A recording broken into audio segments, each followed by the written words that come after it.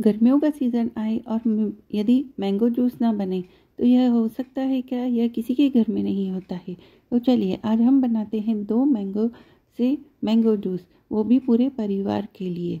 हमने दोनों मैंगो को अच्छे से छील लिया है, छील कर छोटे छोटे पीसेस में कट कर लिया है। इसे मिक्सर के जार में डाल रहे हैं, उसके बाद हम चीनी डाल रहे हैं। चीनी हमने थोड़ी कम ही डाली है, क्योंकि आम जो है वो बहुत मीठा है।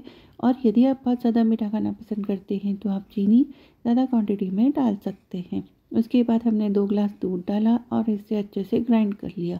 ये देखिए ग्राइंड करने के बाद गाढ़ा गाढ़ा हमारा मैंगो जूस बनकर रेडी है। वो भी पूरे परिवार के लिए। आप ऐसा बच्चों को पिलाइए तो देखिए बच्चे कितना खुश हो जाएँगे और रोज़ यही बनाने की ज़िद करेंगे। आप चाहें तो इसमें थोड़ा सा इलायची पाउडर भी डाल सकते हैं फ्लेवर के लिए और ऊपर से थोड़े से ड्राई फ्रूट से गार्निश कर सकते हैं। वैसे तो ये ऐसा ही अच्छा लगता है। Thank you.